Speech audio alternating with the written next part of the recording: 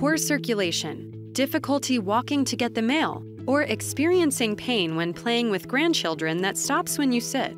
These are all symptoms many people may ignore or minimize as just part of getting older, but they could be signs of something more serious.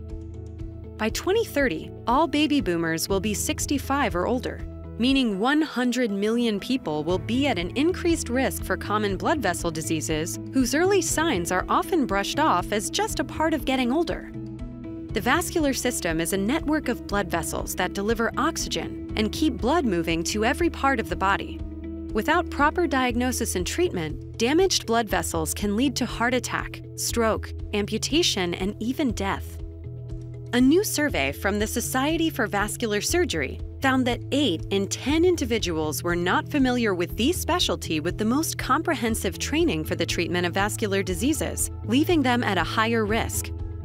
Vascular surgeons take care of the superhighway that is your vascular system, ensuring that your vessels are flowing smoothly and blocked or broken vessels are repaired or reconstructed. Vascular surgeons are the only medical specialty primarily trained to be experts on blood vessels and all non surgical and surgical treatment options. Surgery is only part of the story for vascular surgeons. A lot of the care these specialists provide is dedicated to prevention, screening, and medication management. A vascular surgeon often has long term relationships with patients because vascular diseases often require long term management. Vascular disease is often silent and deadly, signs and symptoms can go unnoticed or unrecognized and cause serious complications if left untreated. You may need to see a vascular surgeon if you see your regular doctor for pain in your legs or difficulty walking. You learn that you have a vascular disease. You have been diagnosed with diabetes, high blood pressure, or high cholesterol. You have a wound that won't heal.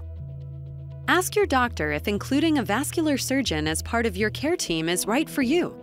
Visit yourvascularhealth.org to learn more and access additional resources.